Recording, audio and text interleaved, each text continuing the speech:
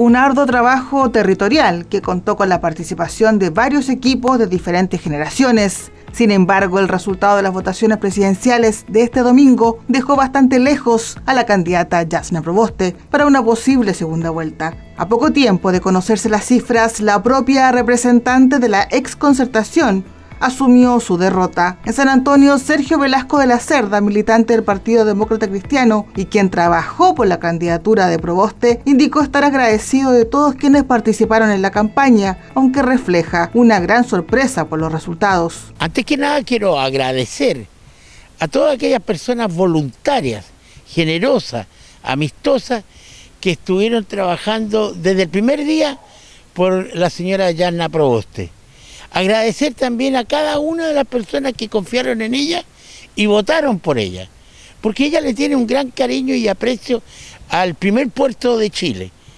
Ahora, eso no quita que no, uno no quede eh, más o menos eh, mirándose al cielo respecto a las votaciones y a, las, y a la aparición de aquellos candidatos que no tenían ninguna posibilidad de tener votos y aparecieron con una cantidad abismante de votación. A nivel nacional, el porcentaje obtenido para la ahora ex candidata presidencial Yasna Proboste fue del 11,61%, una cifra muy lejos de lo esperado. ¿A qué se debe la baja votación? Sergio Velasco aún no tiene la respuesta, sobre todo con los resultados que obtuvo un candidato que ni siquiera se encuentra en el territorio nacional. Fenómeno de que el señor Parisi haya ganado en el norte me parece increíble. Aquí lógicamente porque este es un puerto que se caracteriza por ser un puerto que, cuya votación siempre ha sido muy popular, muy, muy de centro izquierda, y que haya ganado Boris me parece legítimo.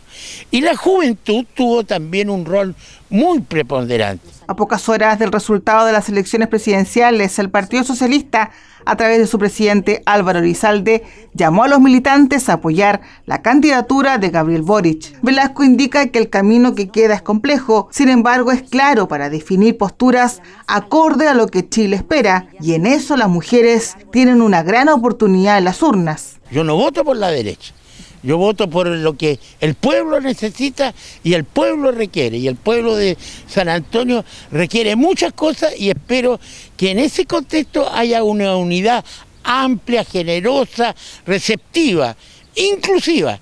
Y yo hago un llamado en este contexto para que la mujer, sobre todo la mujer, piense en quién de los dos puede ser el representante que la defienda, la proteja y la promueva. 2021, un año de elecciones y finalmente la nueva etapa de Chile comienza a escribirse el próximo 19 de diciembre, donde voto a voto dejará en claro el destino político-social para los próximos cuatro años.